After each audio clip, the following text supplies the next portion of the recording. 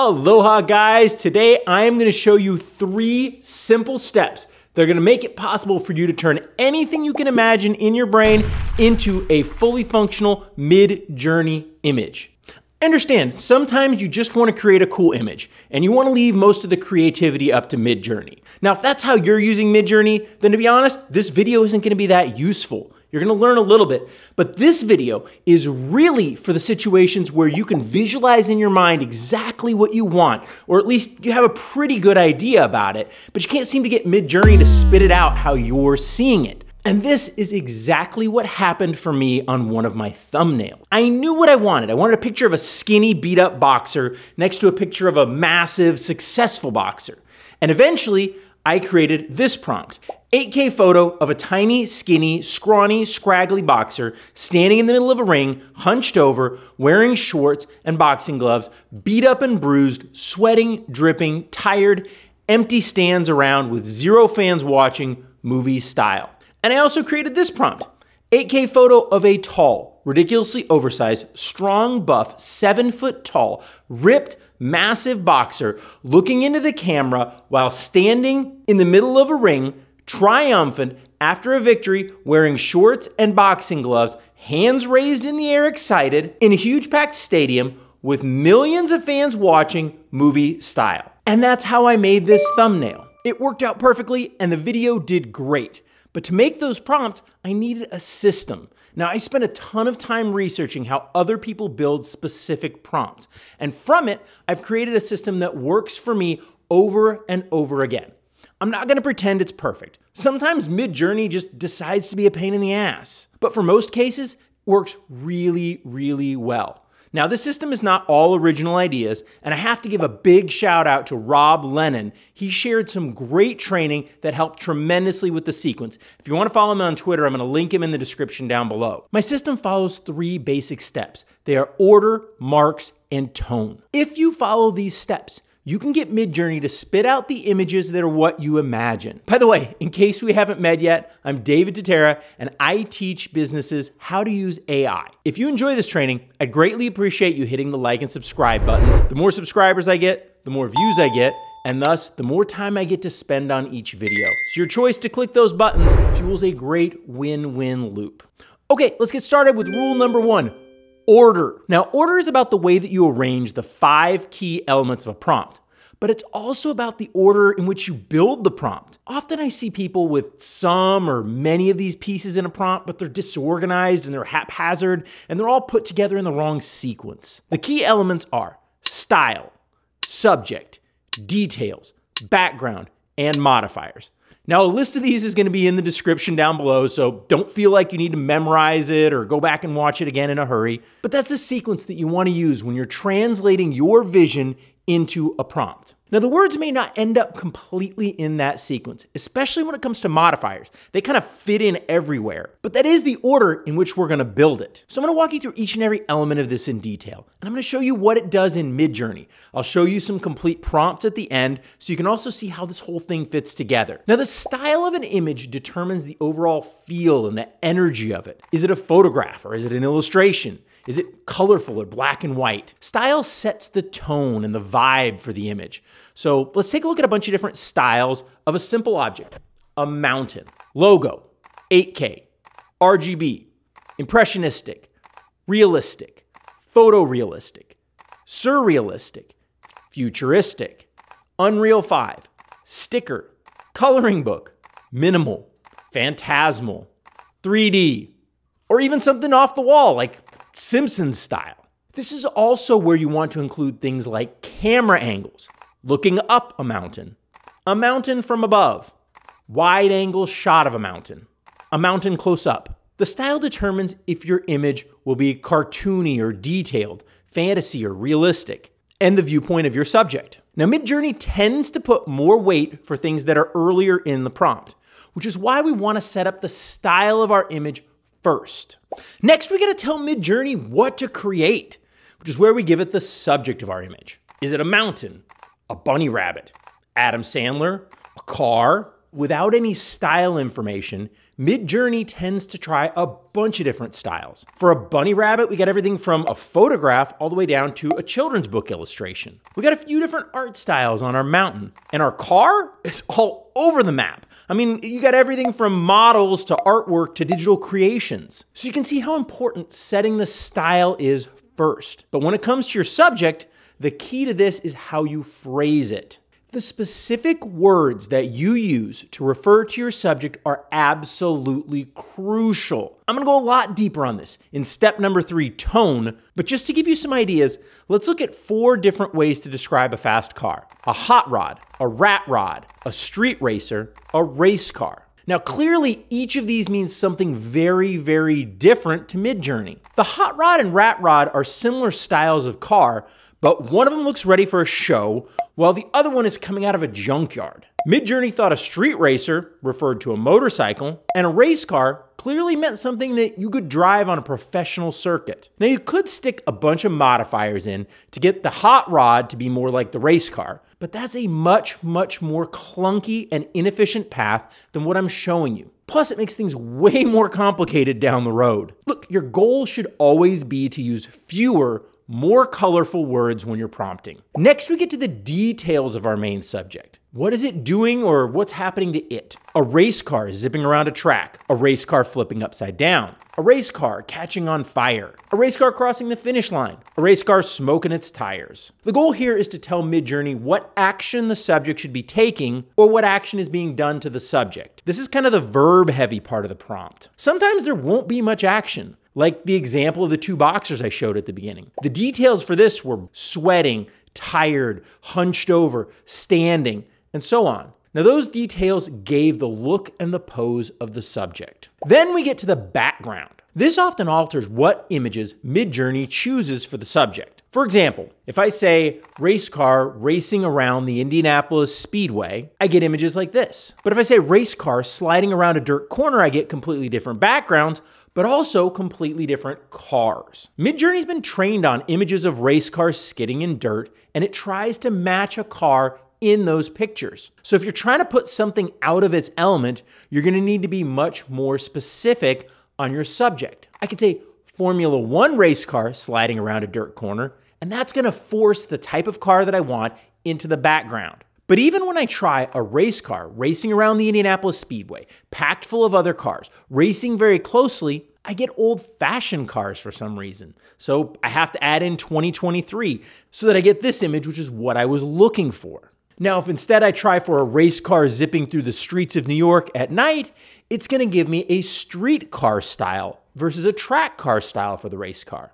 So you can see how changing the background alters the subject. And this is why we want to use a build order for your prompt. It's gonna allow you to go back and make the necessary changes at each step so that you keep making progress towards your vision. Now, when I put some full prompts together at the end, you're gonna see how each step works together in this build order to create that ideal image. Okay, last, after we set up our background, we add in the modifiers. Now, these are the most colorful and descriptive words in our entire prompt, as well as any commands or any negatives. These explain the feel, the emotions, the energy of that picture, as well as any specific elements that you want to include. Your modifiers are going to fit all around at different points throughout the prompt, depending on what piece of the prompt they're modifying. For example, a painting of a hot air balloon versus a painting of a hot air balloon with energetic brush strokes. Now notice this is the first time that I have used a comma in any prompt. Commas are way overused and used in the wrong places in most people's prompts. And I'm gonna cover that in just a minute when we talk about marks. But here's a painting of a hot air balloon, dreamy, soft, magical. It's pretty easy to see how the modifiers changed the hot air balloon. Also, modifiers include things like your aspect ratio. So if you need to use shorthand like dash dash AR and then whatever ratio you want, or negatives like dash dash no clouds. As always, try to use the fewest words that you can to get the job done. My most common negative prompts are dash dash no people and dash dash no text font letters. I really wish there was a shorter way to get the text out of images, but this seems to be the best phrase that I can find that actually does the job. Now, I know that may seem a little bit complex, but once you walk through it a few times, this is gonna seem super easy and it's gonna become second nature as you write your prompts. If you want a written walkthrough of this entire process where you can follow along step by step, you're gonna wanna sign up for a free training on my website. I'm teaching a simple class on how I build high quality, well researched, well written blog posts in less than seven minutes using GPT 4. And I'm sharing a write up on this entire training for everyone who takes that class so that they can use it to build their hero images that they use in new blog posts. So just go to 7minuteblog.com and I'm going to show you all of it. Okay, the next rule we need to cover is marks. Now, my definition of marks includes both punctuation marks and emojis. Both of these are really powerful when they're used correctly. Now, when it comes to breaking apart your prompt, spaces are by far the weakest separator. They practically join the words together. Midjourney is going to see very, very little difference between a firefly and a firefly. Commas begin to break the words apart. Now, commas act like a mild separator between ideas. So Midjourney thinks that what's on one side of the comma and what's on the other side are not completely joined together. However, it's a very subtle distinction. And that's why they get used way, way, way too much. You really need to think about if the words should go together or not before you use a comma. For example, when I wrote the prompt, 8K photo of a ridiculously oversized, strong, buff, seven foot tall, ripped, massive boxer, I intentionally omitted commas.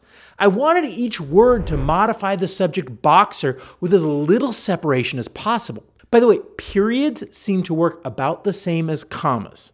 Now, semicolons, on the other hand, those are a strong boundary. Using a double colon tells Midjourney to consider each side as completely separate. Let's take a look at a few examples of how these marks actually work. Sunflower, as just one word, gives us that, a sunflower. Sunflower with a space in it gives us a subtle glow from the sun, a little bit of light separation. Adding the comma in there, sun comma flower, makes it two different focal points. You get the sun and the sunflower. Then finally, sun double colon flower gives us a flower with lighting from the sun, but it's not a sunflower. It didn't join the words together at all. Here's another example. A toothbrush gives us some sort of a mutated toothbrush that you couldn't pay me enough money to put in my mouth, while putting a space gets us a more normal looking toothbrush. Then a comma creates a tooth with the toothbrush in its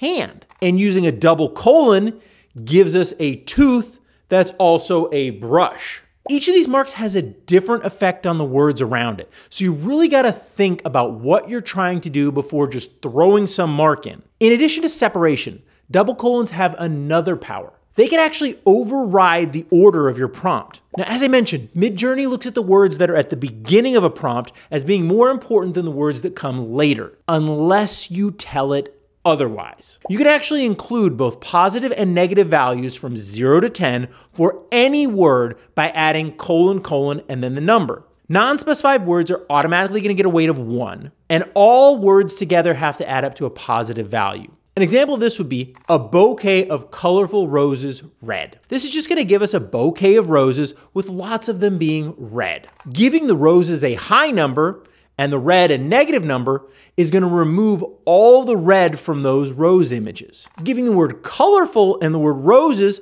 both negative prompts and red a high number creates a graphic of a bouquet with no roses and no colors, but lots of red. Now you can use these to scale up and scale down different elements of your prompt. Also, emojis can be a great way to cut out words by just throwing in a feeling instead. Sometimes if I can't get my words to create the look that I want, then I'll try and play around with some emojis. Now, exactly what each emoji means, that's a bit of a mystery. But here's a few examples just to give you some ideas. This is a man on a motorcycle. Then adding this emoji gives him some shades. Adding this one gives him a skull for a head. Putting in this one colors the whole image with lots of rainbows. Using the tree gives the whole thing a holiday feel with Christmas lights. Adding the wave emoji makes him riding out of the ocean. And finally, the ice cream emoji seems to confuse Midjourney and they give him a bunch of fruits and vegetables. In any case, Emojis are a special type of modifier that I use when I'm struggling to get the right emotion of an image. They are really powerful, and adding just one can have a dramatic change to the image. Now, our final step for Midjourney prompt writing is to make sure we get the right tone. Midjourney picks up on the tone of a word better than most humans are gonna do. Here's an example. I wanted to create a motorcycle rider image with that 50s sort of greaser style. And I figured out that asking for a bad boy on a motorcycle got it right on the money. Whereas if I asked for a man on a motorcycle, I got kind of an older gentleman. Now, requesting a man on a motorcycle in a leather jacket, well, that got me a little bit closer, but still the wrong guy. Now, if I added a young, tough guy on a motorcycle in a leather jacket, now I'm getting even closer, but it's still gonna be too preppy of an image for me. Finally, a rough dude riding a motorcycle, wearing a leather jacket, hair flowing in the wind. Now, that got me back to that original idea that I had wanted. As you can see, either path is going to get you there. You can use a 100 words to describe something, and I've seen lots and lots of great long Midjourney prompts. But if you have something specific in mind that you are looking to achieve, saving words gives the ones that you keep in there way more power. After 100 words, each new word you add only gets a tiny piece of the energy, no matter how you order them or how you weigh them. So saying bad boy instead of rough dude wearing a leather jacket, hair flowing in the wind, well, that saves me eight or nine words. And that gives me a lot more control and a lot more power over the rest of my prompt. And those are my three steps to designing any Midjourney prompt. Order, which means your style, subject, details, background, and modifier. Marks, which are basically commas, colons, and emojis. And tone, which boils down to fewer words that are more descriptive. So let's go back and see how I structured those two boxing prompts that I mentioned at the beginning. First comes the style 8K photo, looking into the camera. This setup that I wanted a realistic image of the subject facing into the camera. Then the subject, boxer. Now, Midjourney seemed to get this right away, so I didn't really need to mess with it anymore. Then the details standing, wearing shorts and boxing gloves, hands raised in the air. I kept getting boxers in practice gear or wearing a robe, and I didn't want that, so I added those details. Then the background in the middle of a ring in a huge packed stadium with millions of fans watching. This took him off the streets or out of the gym into the ring, which is the image that I wanted. Then the modifiers movie style, a tall, ridiculously oversized, strong, buff, seven foot tall, ripped, massive. Putting all of that in gave him the body and size that I was looking for, as well as the cinematic effects. And yes, I put tall in there twice because it improved the output. I may be giving you a formula, but it's not an exact science. It's a framework that you follow and make changes to along the way. And then the other prompt, again, first comes the style, then the subject, then the details, what I wanted to include in the image. Next, the background to make sure that his scene looks like he just lost. And finally, the modifiers, which gave it the emotions of weakness and frailty. I didn't end up using emojis or negative prompts on either of these, but I did try a few along the way. Sometimes you need them, other times you won't. And I only used a few commas to separate the boxer and the background from the modifiers. All in all, it took me about 15 tries to get the first one right, and about 10 for the second one. But without a framework, it could have easily taken me 100. By following this system, I got the style right. Then I tried out the subject to see what Midjourney gave me. Next, I added in the details that I wanted to include, and then the background location, and finally modifiers to adjust any part of the prompt so that it equaled out to what I imagined. I followed the order and built this prompt step by step. Now, if you're still here, please do me a favor and give me that like and subscribe click. And also, if you're building prompts and images like this, you really need to work in your own private Midjourney room. Trying to iterate in a room with everyone else's images flying at you is just way too chaotic. You need to keep everything organized and stop chasing your prompts up and down, or it's gonna drive you crazy. So if you haven't set up a private room yet, do me a favor and click up here. I'll show you how to do it in less than two minutes time